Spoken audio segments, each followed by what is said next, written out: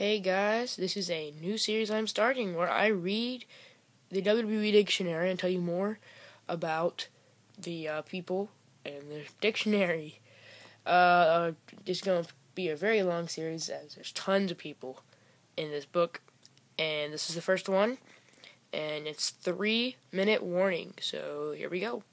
In July 2002, Rosey and Jamal made their debut when they jumped the crowd barrier to decimate D'Lo Brown and Shawn Stasiak.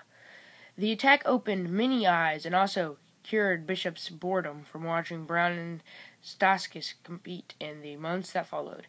Bischoff continued to entertain himself by giving superstars a warning of three minutes before Rosey and Jamal would put a painful end to the segments the general man the general manager deemed dull. The most memorable moment of Three Minute Warning's brief WWE career saw them invade SmackDown to crash Billy and Chuck's highly publicized commitment ceremony. Shortly after the invasion, Rosey and Jamal competed in high profile tables elimination match at Survivor Series. With Rico as their partner, they fell victim to Jeff Hardy, Bubba Ray, and Spike Dudley. The duo never bounced back from the loss, and they went their separate ways at shortly after. Three Minute Warning was made of Rosey and Jamal with a combined weight of 939 pounds, and they were active in the 2000 to present day. Here is the first member of Three Minute Warning, Rosey. This former superstar began his WWE career along with his brother Jamal as a hired gun when Eric Bischoff was a part of Three Minute Warning.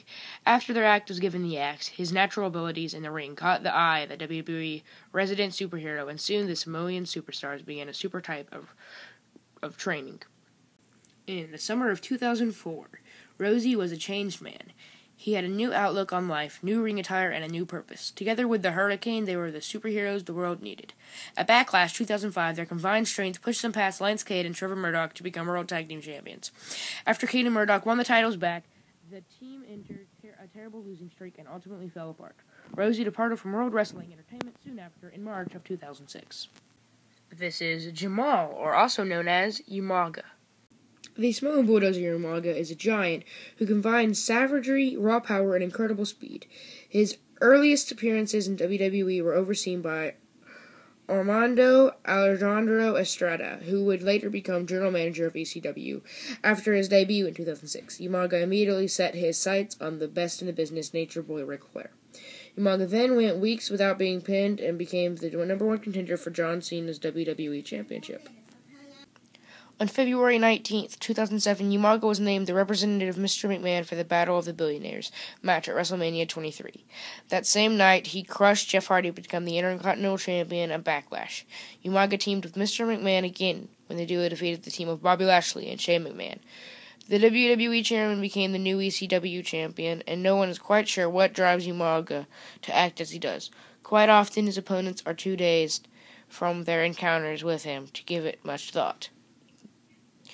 His signature move is the Samoan Spike, and you can see a picture of him doing it. Again, this is the first one of hopefully many to come in this series.